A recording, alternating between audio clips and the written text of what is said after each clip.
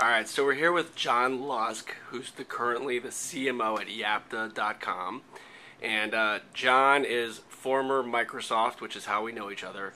Definitely one of the, the savviest marketers I've come across. Yeah. Of course, I haven't come across that many, so it's You've really not saying all. that. Exactly.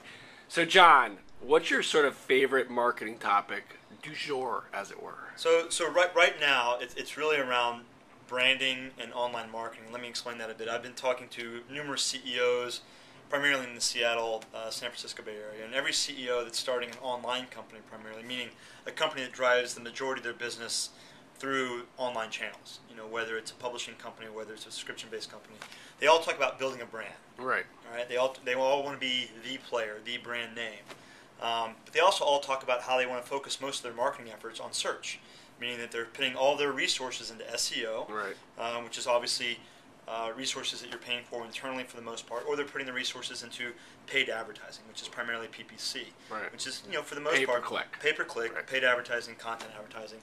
Most of this stuff is funneled through Google, right, just because that's where the market share is from a search perspective. Well, the problem I have with that notion is I don't believe you can fundamentally bre- build a brand unless you've got a huge first mover advantage. I don't believe you can build a brand by focusing only on search marketing. And search marketing is just like crack. You know, so once you start focusing on it, you see the results. Cost is so cheap comparatively.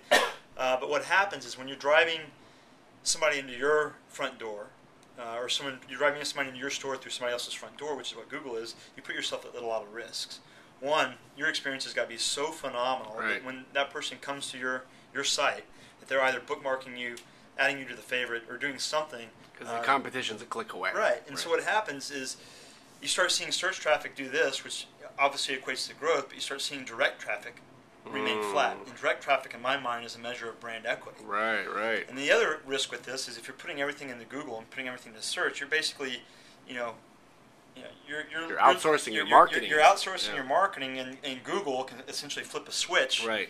And completely And cut you're- off, right. and somebody else can come in there and eat your lunch. So especially if you're focusing on PPC, someone, a competitor, can start bidding your rates upwards. Right. SEO is always going to be competitive. So brand becomes pretty expensive. yeah, so um, So if you're a small, I mean, look, a lot of the people who read my blog, for example, you know, small businesses, medium-sized business. I mean, we have some large brands as well, but okay. So how do you go about building a brand then in this environment? Well, one, you, you got to focus on who your customers are, right? And what's that experience that's going to make your, your product or service so much more differentiated, so much more value add, so much more unique than anybody else out there. But I believe you've got to start focusing on those specific customers in terms of getting them back. Use search as a way of getting into your door. How do you keep them coming back to you so you're not having to reacquire customers through search, whether it's SEO or PPC? So that can be everything from, you know, building community, you know, and trying to figure out is there a way to build brand equity and create your competitive moat um, through the building of community? Um, are there things that you can do sort of at the local level, depending on what your business looks like? Um, are there other ways, either through distribution mechanisms, that you can attract new users to your to your site? Um, that becomes a little bit more difficult, especially if you've got a model where your average lifetime value is pretty low. Right. You know, and that's why people get stuck on the crack of, of search marketing, whether I it's SEO or PPC.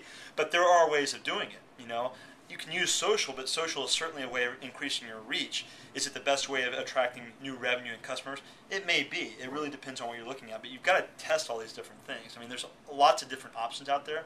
It's just hard for a lot of these CEOs, in my mind, to get away from starting and, and completely focusing on search marketing. So, where can people find you online if they want to get more of the John Lusk crack, as it were? So if they if they want to find me online, I, I, I do tweet.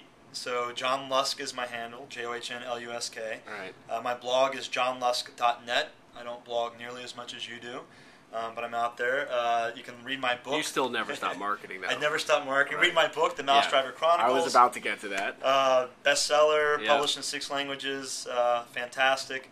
Um, of course, you can reach me, reach me at uh, John Lusk at Yahoo or johnlusk11 at Gmail as well. All right, that's John Lusk. Thank you very much.